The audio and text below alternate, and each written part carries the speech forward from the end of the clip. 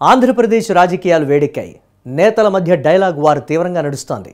ఆరోపణలు ప్రత్యారోపణలతో రాజకీయ వాతావరణం వేడెక్కింది. పార్టీలు తమదైన వ్యూహాలతో ప్రజల దగ్గరకు వెళ్తున్నాయి.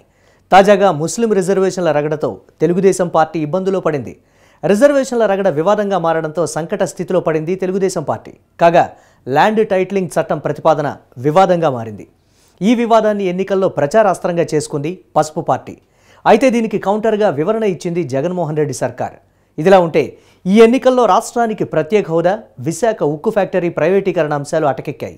రాష్ట్రానికి బోలెడన్ని ఆర్థిక ప్రయోజనాలు కలిగించే ప్రత్యేక హోదా అంశాన్ని వైఎస్ఆర్ కాంగ్రెస్ తెలుగుదేశం పార్టీలు పూర్తిగా నిర్లక్ష్యం చేశాయి. ఈ అంశాలపై ఇవాల్టి స్వతంత్ర ఫోకస్.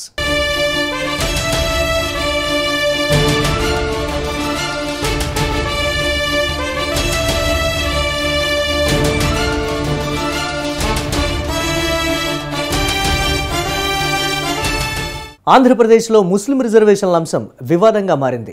ముస్లింల రిజర్వేషన్లు రద్దు చేస్తామంటూ కేంద్ర హోంమంత్రి అమిత్ షా చేసిన ప్రకటన ఆంధ్రప్రదేశ్ రాజకీయాల్లో దుమారం రేపింది. అయితే అమిత్ షా ప్రకటనను చంద్రబాబు ఖండించకపోవడంపై ముస్లింలు ఆగ్రహంగా ఉన్నారు. దీంతో సంకట స్థితిలో పడింది తెలుగుదేశం పార్టీ. అంతేకాదు పోలింగ్ నాటికి ముస్లిం మైనారిటీలలో మెజారిటీ వర్గం తమకు దూరం అవుతుందేమోనని ఆందోళన పడుతోంది పసుపు పార్టీ.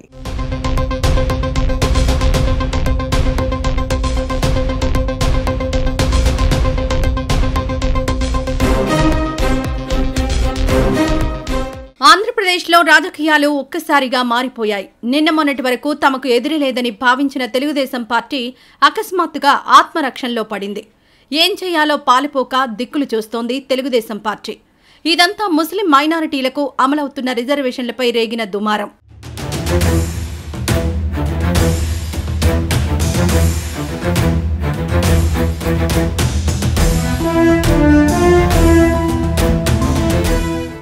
ఆంధ్రప్రదేశ్ రాజకీయాల్లో ముస్లిం మైనారిటీల రిజర్వేషన్ల అంశం తాజాగా తెరమీదకొచ్చింది ఇటీవల ఓ బహిరంగ సభలో కేంద్ర హోంమంత్రి అమిత్ షా మాట్లాడుతూ ముస్లిం మైనారిటీలకు అమలు చేస్తున్న నాలుగు శాతం రిజర్వేషన్లను తప్పుపట్టారు.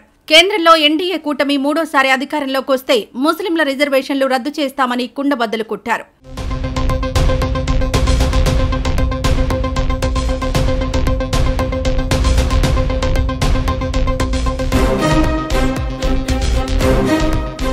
ముస్లిం మైనారిటీలపై బీజేపీ విషం చిమ్మడం ఇదే తొలిసారి కాదు. ఎప్పుడు అవకాశం దొరికినా ముస్లింలను టార్గెట్ చేసుకుంటుంది కమలం పార్టీ. హిందూ ఓటు బ్యాంకును ఆకట్టుకోవడమే ఇందులోని పరమార్థమంటారు రాజకీయ పరిశీలకులు. కర్ణాటకలో గతంలో ముస్లిం మైనారిటీలకు రిజర్వేషన్లుండేవి అయితే బస్వరాజ్ బొమ్మాయి నాయకత్వంలో వచ్చిన బీజేపీ ప్రభుత్వం కిందటేడాది ముస్లింల రిజర్వేషన్లను ఒక్క కలం పోటుతో రద్దు చేసింది.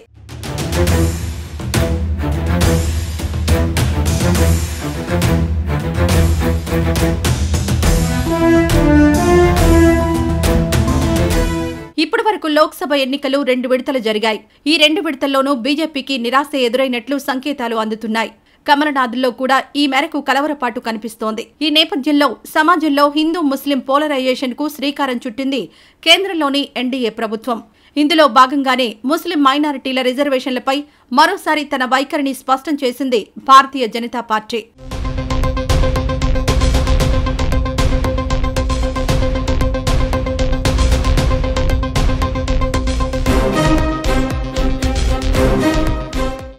వాస్తవానికి మన దేశంలో ముస్లిం సమాజం దయనీయ పరిస్థితుల్లో ఉంది. సామాజికంగా ఆర్థికంగా విద్యాపరంగా ముస్లిం సమాజం బాగా వెనుకబడింది. రోడ్ల మీద పండ్లు పల్లీలు అమ్ముకునేవాళ్ళు చిన్న చిన్న దుకాణాలు పెట్టుకుని వాచీలు బాగు చేసేవాళ్ళు మోటార్ మెకానిక్లు ఇలా రెక్కల కష్టం మీద బతికే వాళ్ళలో ఎక్కువ మంది ముస్లింలే కనిపిస్తారు. అంతేకాదు ఐఏఎస్ ఐపీఎస్ అధికారులకు డ్రైవర్లుగాను వారి ఇళ్ళలో తోటమాలీలుగాను పనిచేసే వాళ్ళలో ఎక్కువ మంది ముస్లిం మైనారిటీలే ఉంటారు.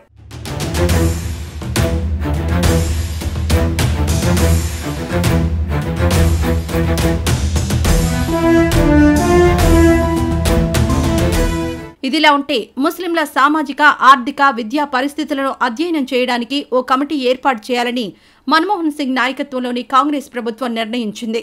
ఇందులో భాగంగా రెండు వేల ఐదులో ఢిల్లీ హైకోర్టు మాజీ ప్రధాన న్యాయమూర్తి జస్టిస్ రాజేందర్ సచార్ నాయకత్వంలో ఓ కమిటీని అప్పటి మన్మోహన్ ప్రభుత్వం ఏర్పాటు చేసింది.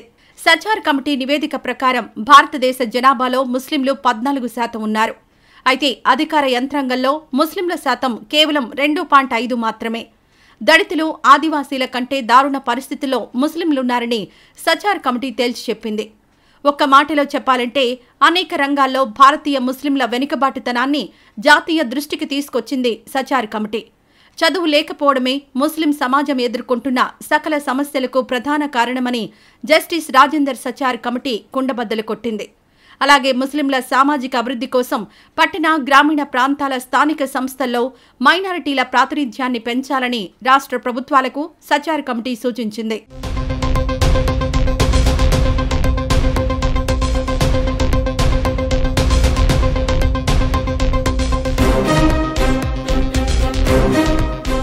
ఇదిలా ఉంటే ఆంధ్రప్రదేశ్ రాజకీయాలు ఒక్కసారిగా వేడెక్కాయి.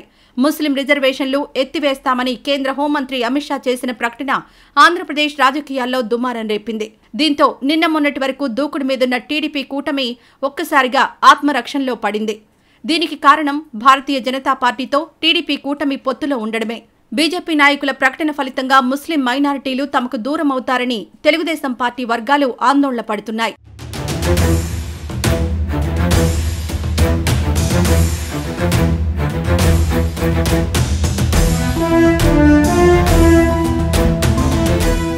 తమ వర్గ ప్రయోజనాలు దెబ్బతినేలా పొత్తులో ఉన్న భారతీయ జనతా పార్టీ ప్రకటనలు చేస్తుంటే చంద్రబాబు నోరు తెరవకపోవడం ముస్లింలకు మింగుడు పడ్డం లేదు. కాగా ఆంధ్రప్రదేశ్లో రిజర్వేషన్ల రచ్చ రోజు రోజుకు ముదురుతోంది. తెలుగుదేశం పార్టీ కూటమి అధికారంలోకి వస్తే ముస్లింల రిజర్వేషన్ల రద్దు ఖాయంగా కనిపిస్తోందంటున్నారు రాజకీయ పరిశీలకులు. దీంతో ఇప్పటివరకు కొన్ని ప్రాంతాల్లో తెలుగుదేశం పార్టీకి అనుకూలంగా ఉన్న ముస్లిం వర్గాలు పోలింగ్ నాటికి యూటర్న్ తీసుకుని జగన్మోహన్ రెడ్డికి జై కొడతాయని టీడీపీ వర్గాలు ఆందోళన పడుతున్నాయి. అతను అంటున్నాడు నేనేదో బీజేపీతో కలిశాను కాబట్టి మిమ్మల్ని ఓటేయమని. నేను కొత్తగా కలిశాను ఆ తమ్ముళ్ళు? బీజేపీతో రెండు వేల పద్నాలుగులో కలిశారు అవునా కాదా?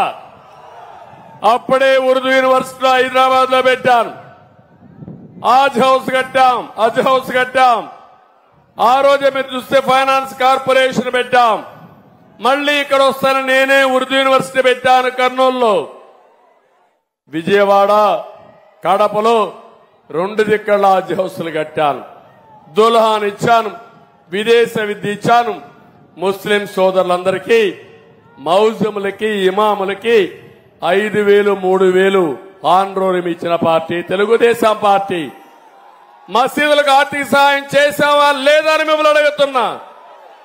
ఏ ఒక్క ముస్లిం సోదరుడికైనా ఇబ్బంది కలిగిందా తమ్ముళ్ళు అని అడుగుతున్నా.